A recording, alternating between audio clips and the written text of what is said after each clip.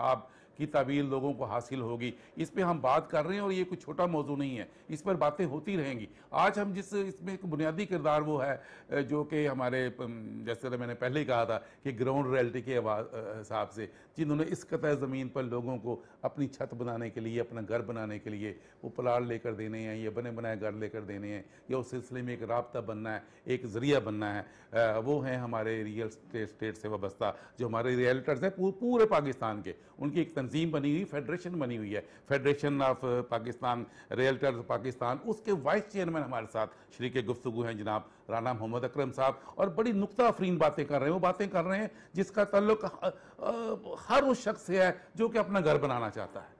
और बर रास्त उसके लिए मालूम अफजा भी है। और मैं तो समझता हूँ बहुत सारी बातें मेरे लिए भी मालूम अफजा हैं कि इस फ़ील्ड में क्या क्या चीज़ों की ज़रूरत है क्या क्या तकाजे हैं। तो इसमें हम बात आगे आते हैं, चूँकि ये एक बुनियादी, जब तक एक मुल्क की जो रियासत होती है, स्टेट होती है, हुकूमत होती है, उसकी तरफ़ से पजीराई ना मिले, बल्कि उसका शेल्टर ना मिले तो ये शुभ आगे परवान नहीं चढ़ सकता। तो मैं पूछूँगा राना साहब आपसे कि जो हुकूमत वक्त है इसके इकदाम जैसे कि आपने ज़िमन पहले भी ज़िक्र किया तो मैं चाहूँगा तफसील से ज़िक्र करें कि हुकूमत के कौन से इकदाम ऐसे हैं जिसमें आप समझते हैं कि आपके लिए आसानियाँ पैदा हुई हैं और जो घरों की तमीर का जो ख्वाब है, वो आप समझ रहे हैं कि इसमें आसानियाँ पैदा हो रही हैं और कौन सी ऐसी चीज़ें हैं जो आप मज़ीद समझते हैं कि ये मज़ीद इकदाम की ज़रूरत है। जनाब राना साहब। देखिए, जैसे आपने सर फरमाया, रोटी, कपड़ा और मकान हर इंसान की बुनियादी ज़रूरत है।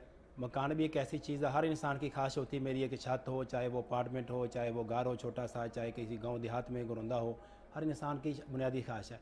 तो बेसिकली ये स्टेट के करने के काम है। आपको याद होगा पचास साल पहले पाकिस्तान पीपल्स पार्टी ने भी ये नारा लगाया था उसी बेस पे उन्होंने स्वीप भी किया था नाइनटीन सेवेंटी में। लेकिन नारे लगते रहे कपड़ा और मकान के नाम पे क्योंकि ये ऐसी इसमें कशिश है कि हर इंसान की ये ज़रूरत में आता है।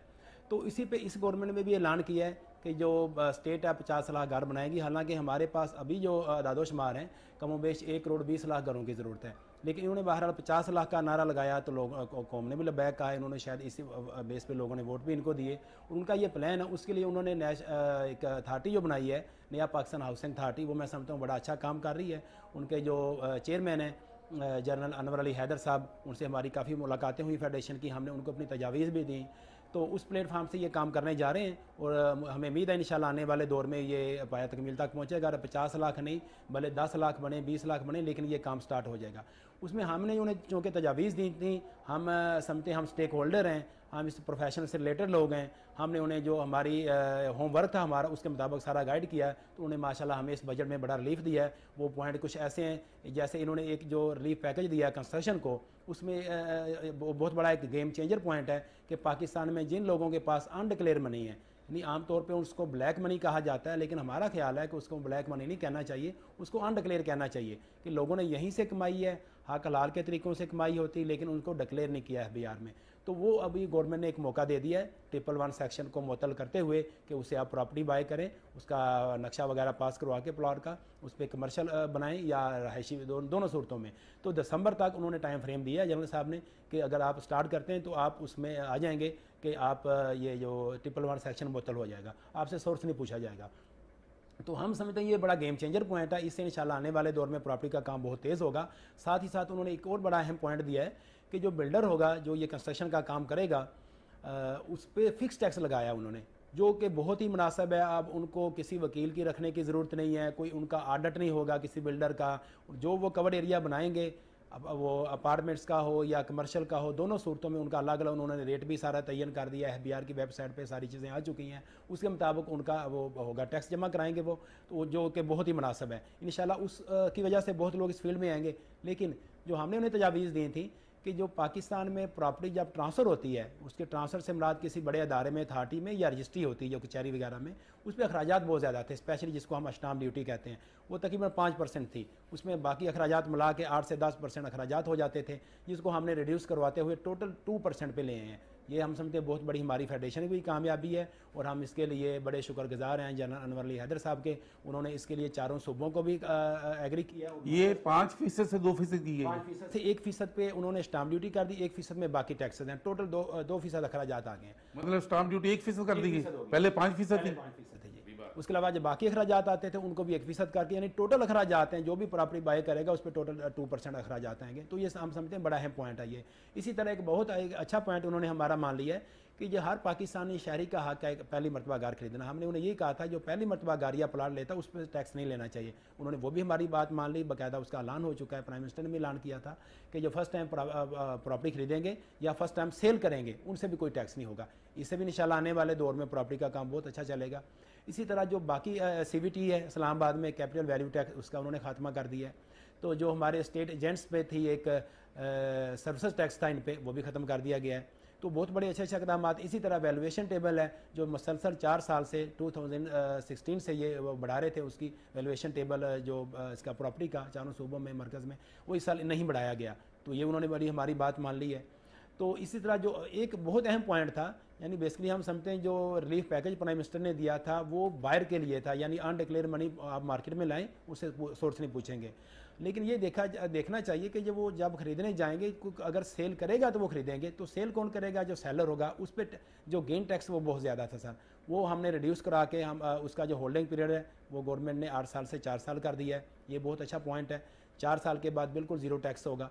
इसी तरह जो चार साल का उन्होंने स्लैब भी ऐसी बना दी है कि फ़र्स्ट ईयर में पूरे प्रॉफिट पे टैक्स होगा सेकंड ईयर में 75 परसेंट पे थर्ड ईयर में 50 पे फोर्थ ईयर में 25 परसेंट पे टैक्स होगा। बाकी एग्जेम्प्टेड होगा।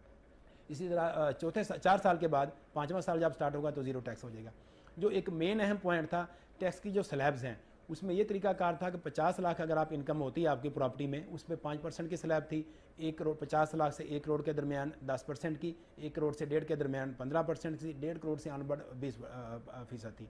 तो उनको उन्होंने फिफ्टी परसेंट पे करते हुए पचास लाख पे ढाई कर दिया एक करोड़ पे पाँच फ़ीसद डेढ़ पे साढ़े सात और इससे अनबढ़ दस। तो इससे भी इंशाल्लाह हर इन्वेस्टर, ओवरसीज भी, लोकल भी, हम उनको दावत भी देते हैं कि प्रॉपर्टी में आए। जिस तरह के अच्छे हालात अलहमदिल्ला अभी पैदा हुए मैं, मुझे खुद 25 साल हो गए इस फ़ील्ड में। शायद मैंने इतने अच्छे हालात प्रॉपर्टी के नहीं देखे। इन्वेस्टर्स के लिए जैनवन काम तो लोग खरीदो फरोख्त कर ही रहे हैं। इन हालात में भी कर रहे हैं, कोरोना में भी कर रहे हैं। इन्वेस्टर्स इस फ़ील्ड में आए और ये तमीरत के शोबे में आए। इन इसमें, देखिए इसमें सबसे बड़ा फ़ायदा क्या होता है? जो प्राइम मिनिस्टर का खाब है, पचास लाख घरों का साथ ही, उनका एक ये भी नारा है कि एक करोड़ जो नौकरियाँ वो भी हमने प्रोवाइड करनी है। इसमें एम्प्लॉयमेंट बहुत जनरेट होती है। मतलब वो घर घरों का भी खाब पूरा होगा और नौकरी वाला मसला भी हल होगा। जैसे आपके अंदाजे के मुताबिक आपके अंदाजे के मुताबिक ये जो आपने दूसरी बात की है नौकरी वाली कितने लोगों के लिए रोज़गार के चांस मजीद बनेंगे इस शोबे में? अगर ये एक्टिवेट होता है तो। लाखों में होंगे। देखें एक घर बनता है उसमें कितने लोग काम कर रहे हैं? उसमें मिस्त्री है मजदूर है कारपेंटर है प्लम्बर है इलेक्ट्रीशियन है और चालीस की तकरीब सनत इसमें इन्वॉल्व हो जाती इंडस्ट्री जिससे वाबस्ता है उनका रोज़गार उनका सिस्टम चलता है। जब इंडस्ट्री चलेंगी वहाँ इंडस्ट्री में जो काम करने वाले हैं जैसे स्टील की इंडस्ट्री फ़र्ज़ करें आप ले लें सीमेंट की ले लें वहाँ लाखों लोग काम कर रहे होते हैं। उनका रोज़गार कर लें उनके चूल्हे जलेंगे। तो इससे पूरी एक, एक सोशल जो है आपकी जो मुआशी मुआशी एक्टिविटी वो जनरेट होगी इससे जी। अच्छा क्या आप ये समझते हैं कि इसमें जो एक अहम शुभ और है उसमें राय जानना चाहूँगा हो सकता है एक्सपर्टी ना उतनी ज़्यादा हो लेकिन ये सारा काम घरों की तमीर का जायदाद की खरीदो फरोख्त का फिर इसको डिसिप्लिन में लाने का फिर घर घरों के नक्शे बनाने का फिर घर की तमीर करने का ये सारे अमल में ऐसे तो नहीं हो जाता इसमें पैसा तो इन्वॉल्व होता है। तो जो पैसे की जनरेशन है, या इसका मालियाती शुबे की एक्टिवेशन क्या आप समझते हैं कि हमारे जो मालियाती अदारे हैं, या हमारा जो बैंकिंग सिस्टम है ख़ास तौर पर, वो इसमें अपना किरदार अदा करने हिचकिचा नहीं रहा? देखिए उसमें दो चीज़ें एक चीज़ तो फ़र्स्ट टाइम जो मैंने जैसे अर्ज़ किया प्राइम मिनिस्टर ने जो पैकेज का ऐलान किया उसमें ये वो लो वो पैसा तकरीबन 20 खरब के करीब है यानी 2000 अरब पैसा ऐसा है हमारे पास है जो बैंकिंग सिस्टम में नहीं है। जो लोगों ने घरों में लाकरों में कैश की सूरत में रखा हुआ है जिसका स्टेट को कोई फ़ायदा नहीं हुआ। हमको तो एक्टिवेट हो गया ना। इसको वो ब्लैक मनी भी कहते हैं या हम उसको अनडिक्लेयर मनी कहते हैं। वो जब सिस्टम में आएगा जैसे घर बने ये अंदाजन कितना अंदाजन कितना पैसा अनडिक्लेयर आएगा? सर दो हज़ार अरब तकरीबन हमारे पास अदादोशुमार है बिहार के पास भी यही है और नया पाकिस्तान वाले। दो हज़ार अरब रुपया जो है ना, ये अनडिक्लेयर्ड है। अनडिक्लेयर है, यानी 20 खरब रुपया ऐसा है जो हमारे किसी सिस्टम में नहीं है। वो कैश की सूरत में सारा फ्लो उसका है। वो जब डिक्लेयर होगा, उसके लिए उन्होंने तरीकाकार बना दिया है कि उसके लिए पहले आप अकाउंट खोलेंगे उसमें वो पैसा आप उस अकाउंट में डालेंगे, वहाँ से पे आर्डर बना के आप प्रॉपर्टी बाय करेंगे, फिर वो सिस्टम में आ जाएगा। एक तो ये चीज़ होगी, लेकिन अब हमने उनसे ये भी सवाल किया था कि ये तो हो गया, आप एक डिमांड सप्लाई को पूरा कर रहे हैं। यानी जिन लोगों को घरों की ज़रूरत है, उनके दादो शुमार के मुताबिक जिस तरह तीस, चालीस लाख लोगों को भी हमारे यहाँ तो हमारे ख्याल के मुताबिक शायद करोड़ से ऊपर घरों की ज़रूरत है। मगर उनके पास है कि चालीस, पचास लाख घरों की फौरी ज़रूरत है, जिसमें से हम ये बनाना चाह रहे हैं। तो हमने कहा कि जो लोग खरीदेंगे घर, उनके लिए आप क्या कर रहे हैं? तो उन्होंने बड़ा अच्छा है कि हमें दिया, तरीकाकार बताया कि हम उसके बैंकिंग सिस्टम को इंगेज कर रहे हैं। बैंकों को थ्री या फोर परसेंट पे हम उनके साथ एक हमारा कॉन्ट्रैक्ट होने जा रहा है। यानी जो लोग अपार्टमेंट ये बनाएँगे या मकानात बनाएँगे, कम कीमत वाले लो कास्ट वाले, यानी कोई थ्री या फोर मिलियन की रेंज में उन्होंने हमें गाइड किया था, ये होने चाहिए। तो उसमें हम जो एक आम आदमी है, जिसकी चालीस हज़ार से कम पे है सैलरी है, उसमें वो बजट में रह के उसने किस्त भी पे करनी, घर के खर्चे चलाने, ये उनके लिए बेसिकल वो ज़्यादा प्रमोट कर मिडिल क्लास लोगों को। तो उनके लिए बैंकिंग सिस्टम थ्री या फोर परसेंट पर वो उनको करेगा नहीं ये प्रपोजल की हद तक इसका कि अभी अमली खाका को सामने नहीं आया बैंकिंग सर इसका बिल्कुल अमली खाका और ये नया पाकिस्तान हाउसिंग अथॉरिटी वाले जो इस फ़ील्ड को लीड कर रहे हैं जो सारा सिस्टम बनाए उनके पास पूरा इसके प्रैक्टिकल चीज़ें मौजूद मतलब आपके साथ उनकी निगोशिएट हुई है इस मसले में कि तीन चार फ़ीसद पर वो देंगे बैंकिंग तीन तीन से चार फ़ीसद पर लो लो लो इनकम आम आदमी है जो लो इनकम वाले हैं जो मिडिल क्लास के लोग हैं उनको वो फुल पेमेंट करके मकान ट्रांसफ़र हो जाएगा वो फिर बाद में किस्तें देते रहेंगे। तो उनको वो बड़ी अच्छा फैसिलिटेट स्टेट कर रही है और हम समझते हैं ये स्टेट का बहुत अच्छा काम है। अच्छा मेरा ये ख्याल को आपकी ये फेडरेशन है, इस नुक्ते को भी उठाए, फिर एक्टिविटी ज़्यादा बढ़ेगी। जो आपने बात की है, इस, ये अभी कोई ग्राउंड के सामने ग्राउंड रियलिटी के तौर पे सामने नहीं आई है। आपके साथ उन्होंने बात की है बड़ी अच्छी बात है।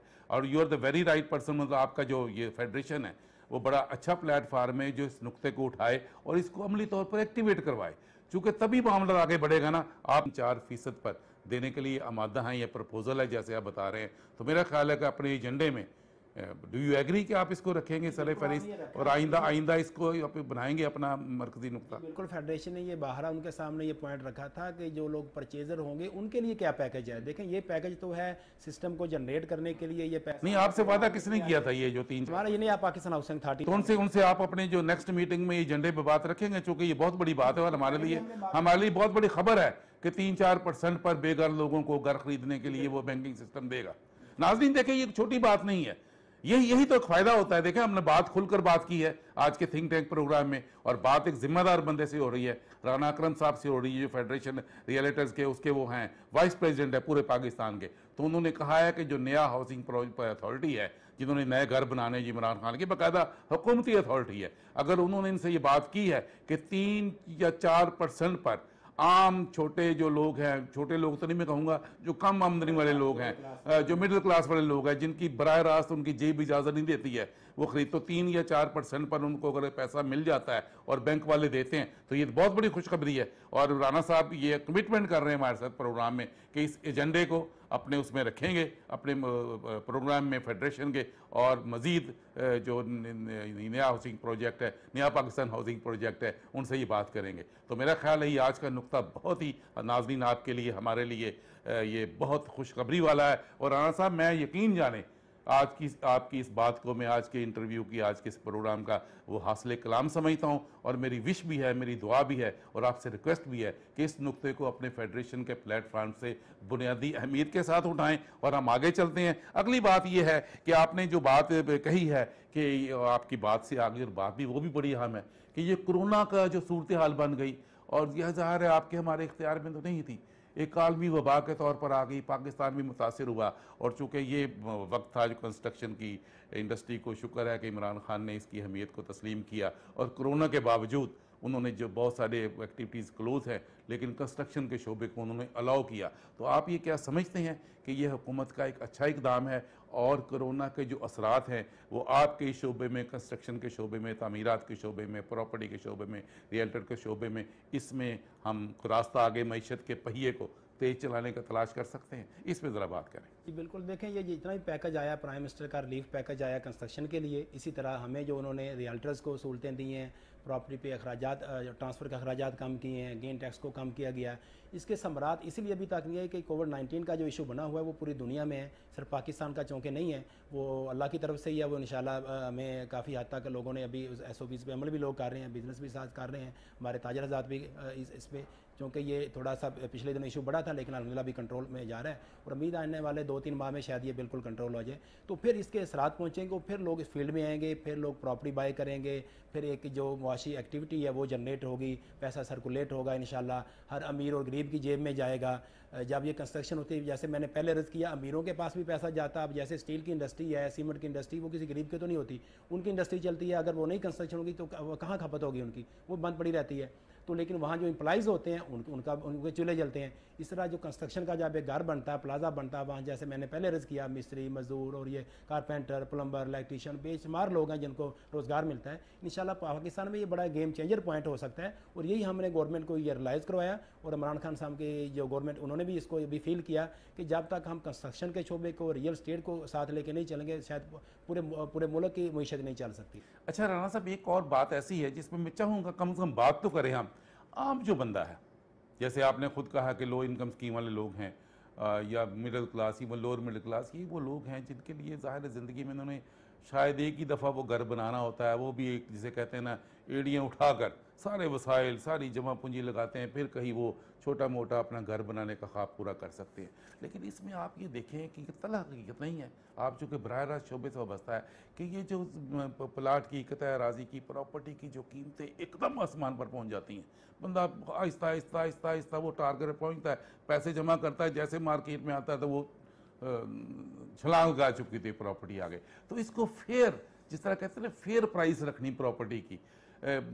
इस, आपके जिन में कोई प्रपोजल है, ज़ाहिर है कि इख्तियार तो नहीं इंसान का होता, लेकिन कुछ तजवीज़ें होती हैं कि काश इस तरह अगर हो जाए तो प्रॉपर्टी की कीमत को फेयर सतह पर रखा जा सकता है। इस तरह का नहीं होता कि बंदा बेचारा हाथ ही मलता रह जाए और अपने वसाइल जो होते हैं ना, वो उसका मुँह चलाने लगे। सर, हम समझते हैं इसमें दो चीज़ें, एक तो स्टेट को खुद जब तक मैंने जब बार बार बार अर्ज़ कर रहा हूँ कि स्टेट जब तक टेक ओवर करेगी, ये मसाइल का हल बहुत मुश्किल होता है। स्टेट इसको रेगुलेट करे और स्पेशली जो प्राइवेट जो निजी शुबे के लोग इसमें डेवलपर्स आते हैं नए नए टाउन बनाते हैं, वहाँ चूँकि लोगों के साथ फ्रॉड होते हैं। एक गेट बना के और शायद एक बुकिंग ऑफ़िस बना के बुकिंग स्टार्ट कर देते हैं लोगों की जमा पूंजी भी ले जाते हैं और प्रैक्टिकली वहाँ पे कुछ नहीं होता। स्टेट को उनको एनओसी नहीं देना चाहिए उनको मार्केटिंग की इजाज़त नहीं देनी चाहिए। गवर्नमेंट इसको रेगुलेट करे सारे सिस्टम को। क्योंकि जब तक गवर्नमेंट नहीं आएगी और, दूसरे निजी शोबे के लोग नहीं आएँगे रेगुलेट के रेगुलेटरी अथॉरिटी के तहत ये शायद मसला हल नहीं होगा कीमतें तो बढ़ेंगी। क्योंकि देखें पाकिस्तान की तकरीबन जो ऑफिशियल ट्वेंटी टू उसका आता है ये करोड़ की आबादी लेकिन शायद ये चौबीस या पच्चीस करोड़ की आबादी है पाकिस्तान दुनिया में तेईस से आबादी बढ़ने वाले पहले पाँच से छः ममालक में शामिल है। तो यहाँ इस काम इस हाउसिंग के सेक्टर में बहुत ज़रूरत है शायद जो पिछली गवर्नमेंटों ने पिछली हुकूमतों ने इस पर बराबर तवज्जो नहीं दी। तो ये कीमतें इसलिए बढ़ी हैं कि गवर्नमेंट नए नए सेक्टर नहीं बसाई अगर जैसे इस्लामाबाद की मिसाल ले लें बीस बीस साल कुछ सेक्टर ऐसे जो सी डेवलप नहीं किए। लेकिन वो तो चंद एक सेक्टर अगर प्राइवेट लोग आ जाएँ तो ये भी बहुत अच्छी बात है। लेकिन वो आए किसी सिस्टम के तहत आएँ प्रॉपर उनके पास जगह हो डेवलपमेंट हो और बाकब्जा चीज़ वो पेश करें बजाय कि एक फाइलों में और पेपर का एक पीस वो देते हैं लोगों को ये नहीं होना चाहिए। तो हाँ, फिर फिर फिर, फिर, फिर कीमतें कंट्रोल रहेंगी जब प्राइवेट लोग आएँगे क्योंकि हमारी आबादी बहुत बढ़ रही उसी हिसाब से जरूरियात हमारी बहुत ज़्यादा है। नाजरीन एक बड़ा अहम नुकता देखे बात कैसी मतलब की है राना साहब ने और ये मैं समझता को नब्स पे हाथ रखा है जो इस मर्ज का नब्ज है। वो ये है कि प्रॉपर्टी के नाम पर प्रॉपर्टी नहीं बेची जाती। वो एक कागज़ का टुकड़ा फ़ाइल की सूरत में दे दीजिए तो ये लो पकड़ो जी। अब प्रॉपर्टी कहाँ है? कतार राज़ी कहाँ है? उसकी रजिस्ट्री पता नहीं है कि नहीं? मलकियत उनके पास है कि नहीं? वसाइल डेवलप करने के हैं कि नहीं? जैसे उन्होंने बताया, एक दफ्तर बना दिया, एक वो गेट बना दिया, वहाँ पर बैठ गए और मीडिया में इश्तहार दे दिए। लोग आ गए, उनसे बुकिंग पैसे, लाखों, करोड़ों, अरबों बटोरे और डाले और अमली तौर पर कहीं वजूद नहीं होता। फ़ाइल के ज़रिए, सिर्फ़ फ़ाइल, कागज़ दे दिए और वो खरीदो, फरोख्त पर। ये नुकता उठाया इन्होंने कि इससे वो जो, ये ये भी जालसाजी है, ये भी जालसाजी है, लेकिन इस जालसाजी को रोके कौन? ये ज़िम्मेदारी बुनियादी तौर पर हुकूमत की है, और हुकूमत को आँखें आप खोल लेनी चाहिए। खुदा के वास्ते अपने अवाम को लुटने से बचा लें। ये जो जाली कार्रवाइयाँ, जाली ये बनी होती हैं, कंस्ट्रक्शन कंपनियाँ और जाली बिल्डर्स, वो यही कुछ कर रहे हैं ना? जैसे कि मैंने कहा था शुरू में दो नंबरी तो इन दो नंबरी लोगों को इतना खुल के खेलने की इजाज़त है। देखिए, मुल्क को कानून साजी की ज़रूरत है।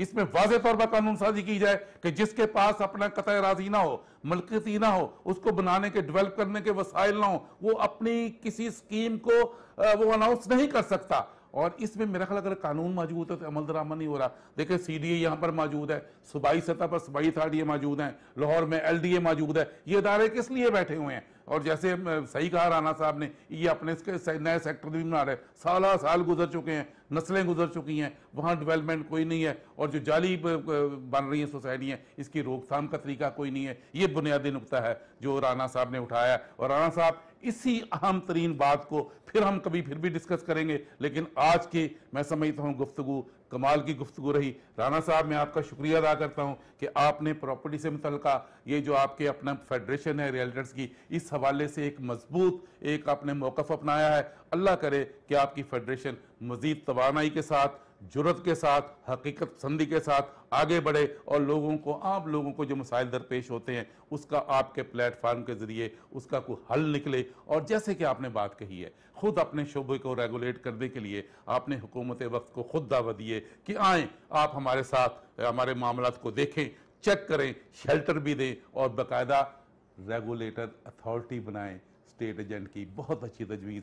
और नाजरीन, एक बात मैं और कह दूँ हुकूमत भी सुन ले, हुक्मरान भी सुन ले कि हुकूमत ने इस शोबे में जितने अच्छे इकदाम किए हैं, आज तक किसी हुकूमती अहदेदार को यह तौफीक नहीं हुई है कि इतनी खुलकर बात करे।